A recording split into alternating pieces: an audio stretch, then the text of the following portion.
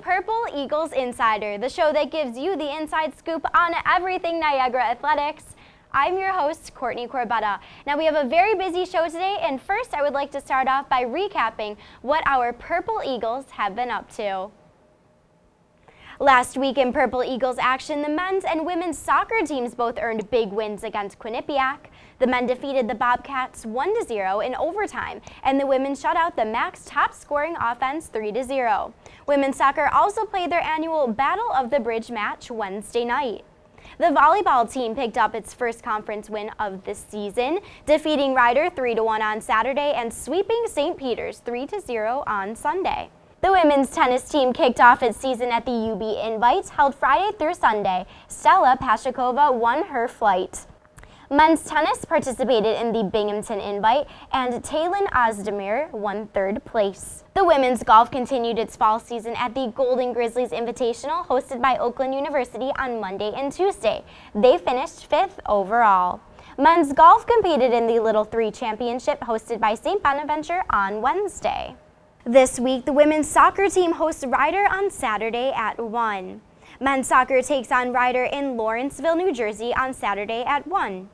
Volleyball heads to Connecticut to face Fairfield on Saturday at 1 and Quinnipiac on Sunday at 1. Hockey is back in action, hosting Western Ontario for an exhibition on Saturday at 3 p.m. Men and women's cross country will both compete in the Paul Short Invitational in Bethlehem, Pennsylvania on Saturday. Finally, men and women's tennis will head to Daemen College for a match on Wednesday, October 5th. For information about how you can keep up with all this week's Purple Eagles action, please visit purpleeagles.com. All right, now I would like to welcome Shawn Warner. He is a senior on the swimming and diving team here at Niagara. Shawn, how are you doing today? Great, thank you for having me. Shawn, how does it feel to be entering your senior year at Niagara? Uh, it's really exciting. It went in a blink of an eye. Last time I checked, I was freshman, and now I'm senior, leading the team, and just crazy. What are you expecting from this year's team? Uh, I expect a lot out of our team. We've only graduated one senior last year. He scored a couple points for us, and this year we brought in uh, six incoming freshmen, and we actually picked up a current senior for the dive team, so it added more depth. Uh, so I'm expecting uh, big things this year. Now, the nine freshmen from last season, they now have a year under their belts. Do you think that's going to help them in their performance this upcoming season? Uh, I think absolutely yes. Um, we've had we had a couple uh, place in the top 16 last year. We had two of them in the 200 IM that actually just missed the A final, and uh, they've actually been training very hard, and they're a lot more mature now, and they know what to expect.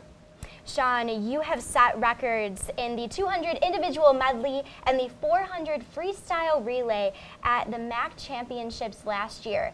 Uh, do you plan to do the same this year? Uh, last year uh, was pretty rough with injuries and other things, um, and I was able to set two other records, so I have uh, high hopes for the final year here. What would you say are some of your keys to success in the pool? A lot of the times it's hard to jump in the water every morning, every afternoon. Uh, you just have to set goals for yourself. Um, our coach actually gave us a goal book to write things down, so it's a lot easier to focus on something for the week. So I try to find the little things to uh, make myself better each time. Can you share with us some of your goals this season? Uh, a lot of the goals consist of, um, one of them would be to win MACs in one of the three events. I've come close a couple times. Uh, hopefully this is the last time I can finish up top. Um, break a couple more records, see what I can do. Yeah, sounds good to me. Now, what are some of the meets you're looking forward to this season? Uh, definitely Fredonia. Always going to Fredonia is nice because they have a very nice facility, um, and it's a good tune-up meet to start the season with some of the higher competition that we'll have. Uh, Waterloo is always fun because we always like to do the Canadian format, which is more of a sprint-oriented thing. And then, of course, Canisius. Uh, we lost by six points last year, and uh, this year we're only stronger, so it'll yeah. be a great racing uh, meet. What do you expect of your team this year, especially when it comes to that big Battle of the Bridge meet? I expect nothing but a win from us. All right, I like that answer, Shawn. I like that. Now, uh, MAC championships are coming up in February. Before we know it, they will be here. So, how do you think your team is going to prepare for that, and you individually as well? Well, as a team, we always have the goal to purple the podium, get as many people up top as possible, and get medals. Uh, what we've been we've been working on all the little small things. The strength is there. We just have to work on endurance and sprinting and finishing. Uh, on my half, I know I've gotten stronger over the summer on off season. Um, it's just putting it all together when championship season comes. What are some things that you're going to continue to work on before that big MAC championship? Definitely getting stronger, uh, working on technique, and um, my new thing is to work on underwaters. Try to get as far as possible underwater before right. we start.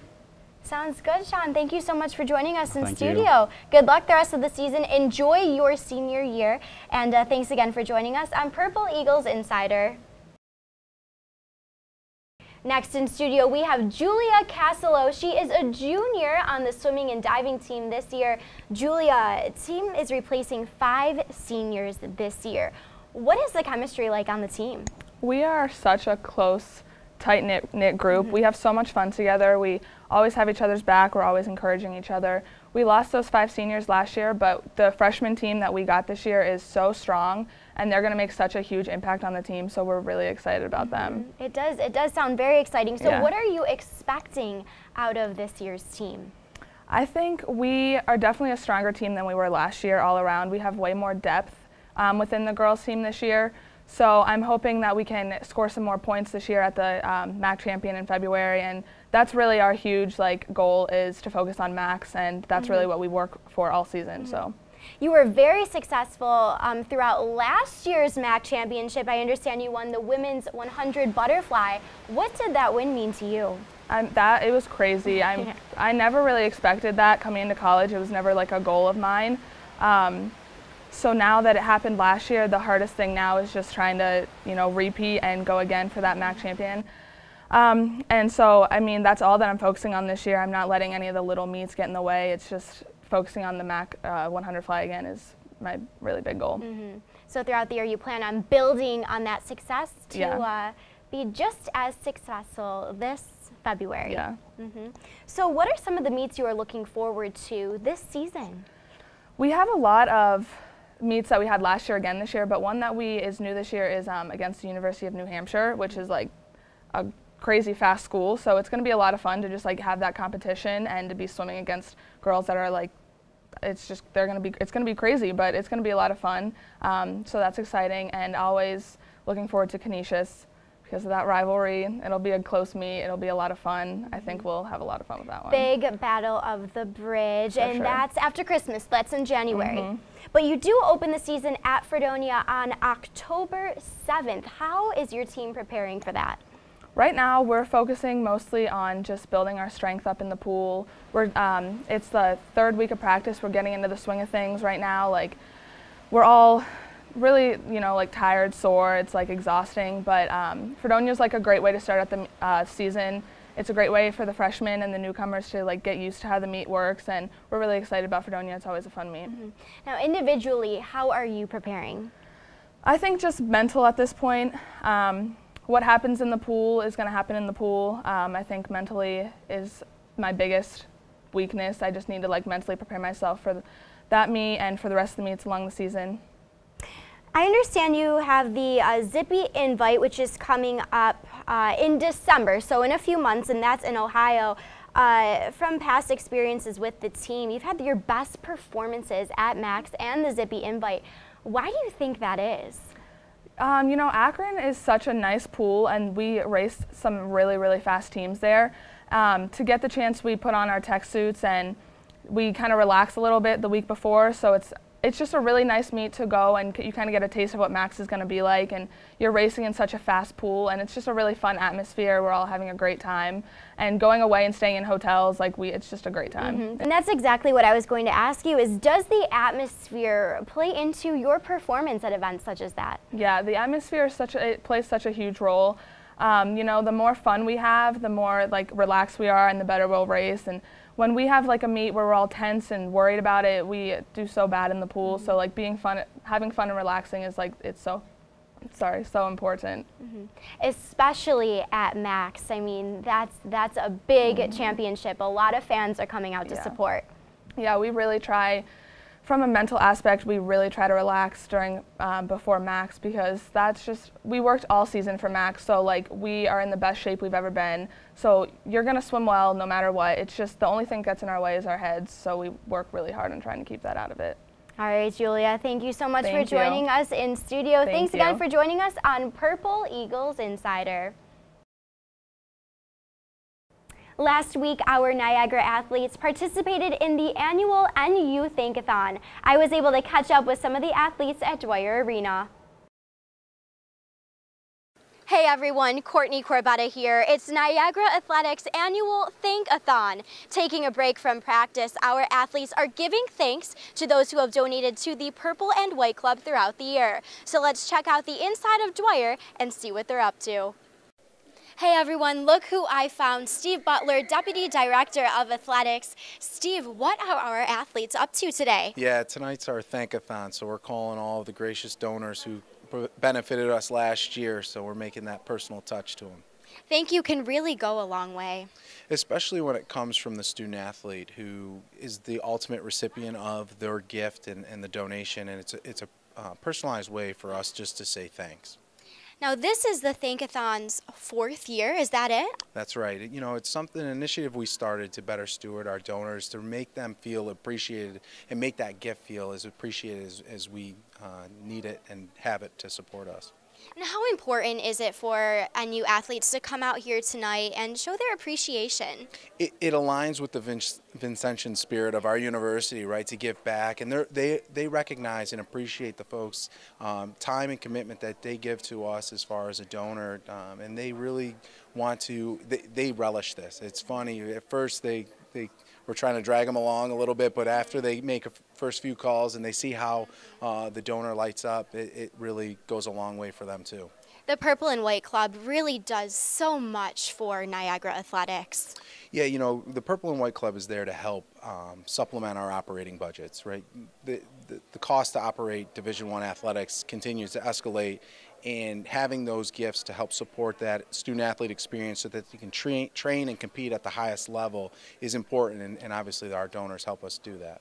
All right, Steve, thank you so much. Uh, thanks for being here. All right, now we're going to catch up with some of our Purple Eagle athletes. Let's see what they're up to.